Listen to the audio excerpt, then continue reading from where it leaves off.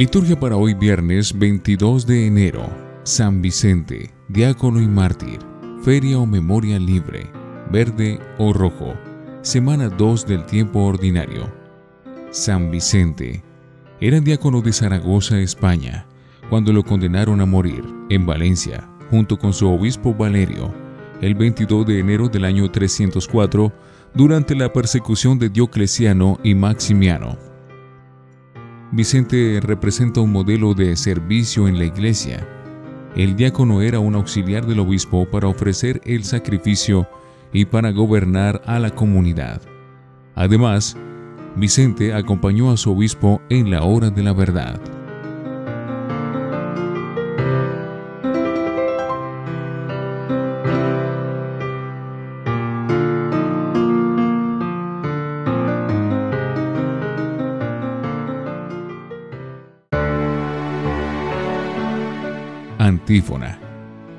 Este es un verdadero mártir que derramó su sangre por el nombre de Cristo.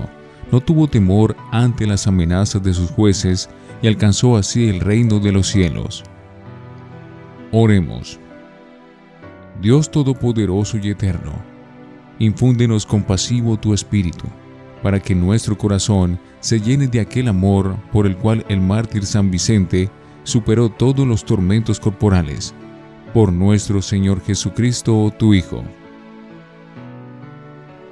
Primera lectura de la carta a los Hebreos, capítulo 8, versículos 6 al 13.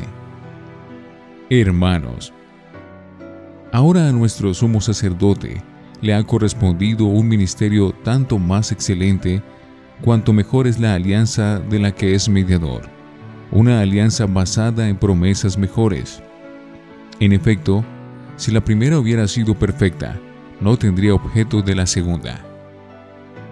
Pero a los antiguos les echa en cara, miren que llegan días, dice el Señor, en que haré con la casa de Israel y con la casa de Judá una alianza nueva.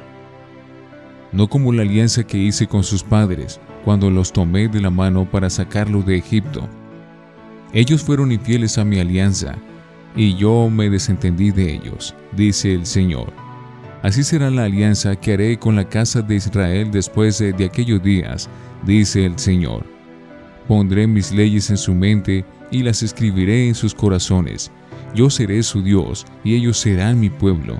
Y no tendrá que enseñar uno a su prójimo, el otro a su hermano, diciendo, Conoce al Señor, porque todos me conocerán. Del menor al mayor, pues perdonaré sus delitos y no me acordaré ya de sus pecados. Al decir alianza nueva, dejó anticuada la anterior, y lo que está anticuado se hace viejo. Está a punto de desaparecer. Palabra de Dios, te alabamos Señor. Salmo 84 La misericordia y la fidelidad se encuentran Muéstranos, Señor, tu misericordia y danos tu salvación. La salvación está ya cerca de sus fieles, y la gloria habitará en nuestra tierra. La misericordia y la fidelidad se encuentran. La misericordia y la fidelidad se encuentran. La justicia y la paz se besan. La fidelidad brota de la tierra y la justicia mira desde el cielo. La misericordia y la fidelidad se encuentran. El Señor nos dará la lluvia, y nuestra tierra dará su fruto. La justicia marchará ante Él, la salvación seguirá sus pasos. La misericordia y la fidelidad se encuentran. Aleluya, aleluya, aleluya. Dios estaba en Cristo reconciliando al mundo consigo y ha puesto en nosotros el mensaje de la reconciliación Aleluya, aleluya, aleluya. Del Santo Evangelio según San Marcos, capítulo 3, versículos 13 al 19. En aquel tiempo Jesús subió a la montaña, llamó a los que quiso y se fueron con él. A doce los hizo sus compañeros para enviarlos a predicar con poder para expulsar demonios. Simón, a quien dio el sobrenombre de Pedro, Santiago el de Zebedeo, y su hermano Juan, a quienes dio el sobrenombre de Boanerges, es decir, hijos del trueno. Andrés, Felipe, Bartolomé, Mateo, Tomás, Santiago el de Alfeo, Tadeo, Simón el cananeo y Judas Iscariote, el que lo entregó. Palabra del Señor. Gloria a ti, Señor Jesús. Oremos. Dios de clemencia, derrama tu bendición sobre esta ofrenda y afiánzanos en la fe, por la cual San Vicente dio testimonio con la efusión de su sangre. Por Jesucristo nuestro Señor. Antífona. El que me sigue no camine en las tinieblas, sino que tendrá la luz de la vida, dice el Señor. Oración después de la comunión. Renovados por esos sagrados misterios, Señor, te rogamos que al imitar la constancia admirable de San Vicente, merezcamos recibir el premio eterno a la perseverancia. Por Jesucristo nuestro Señor.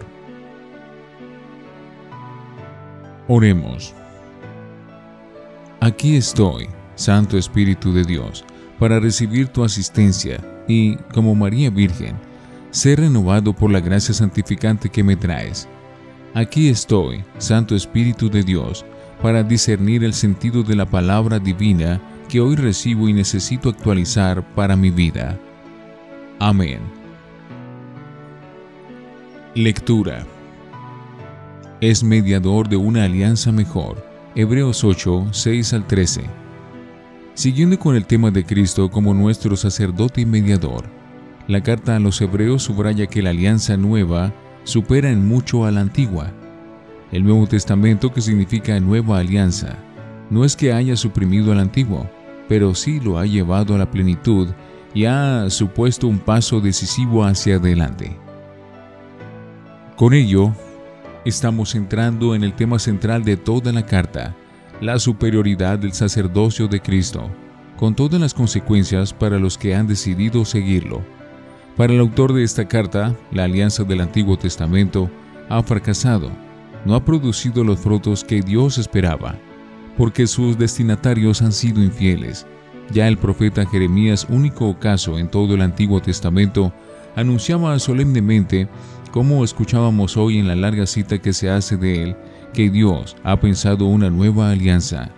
Esta será más interna que ritualista, impresa en el corazón y no en las tablas de piedra. Y espera que encuentre fieles más constantes.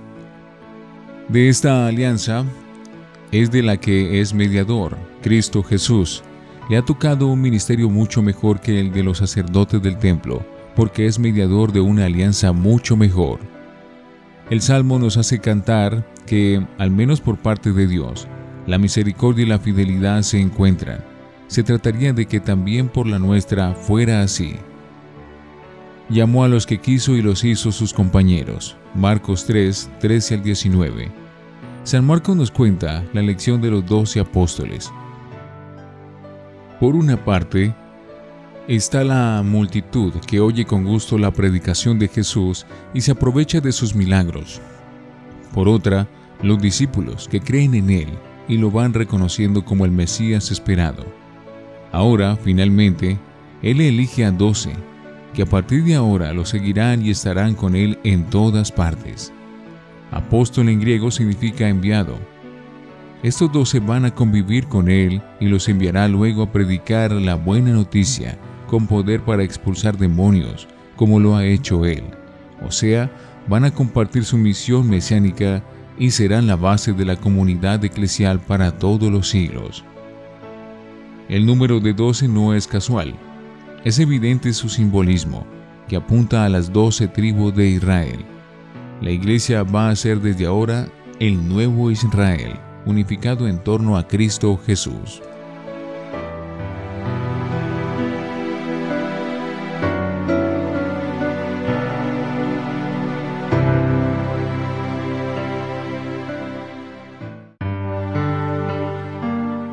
Para meditar. Nosotros pertenecemos al Nuevo Testamento, o sea, a la nueva alianza. ¿De veras nuestra fe es interior, escrita en el corazón? ¿O seguimos con la tentación de lo meramente exterior y ritualista, como los israelitas? ¿Cedemos fácilmente al cansancio o a la añoranza, como los lectores de esta carta, a los que insistentemente hay que recordarles que Dios espera fieles más perseverantes para con su alianza? En la Eucaristía recibimos la sangre de la nueva y eterna alianza. No solo creemos en Cristo, participamos de la vida que nos comunica, primero en su palabra y luego en el sacramento de su cuerpo y su sangre. En consecuencia, a lo largo de la jornada, se supone que vivimos según el espíritu de esta nueva alianza. Llamó a los que quiso. Es una elección gratuita. También a nosotros nos ha elegido gratuitamente para la fe cristiana o para la vocación religiosa o para el ministerio sacerdotal. En línea con esa lista de los doce, estamos también nosotros. No somos sucesores, de los apóstoles, como los obispos, pero sí miembros de una comunidad que forma la Iglesia Apostólica. No nos elige por nuestros méritos, o porque somos los más santos ni los más sabios, o porque estamos llenos de cualidades humanas. Probablemente también entre nosotros hay personas débiles, como en aquellos primeros doce. Uno resultó traidor, otro lo abandonó en el momento de la crisis, y el que él puso como jefe lo negó cobardemente.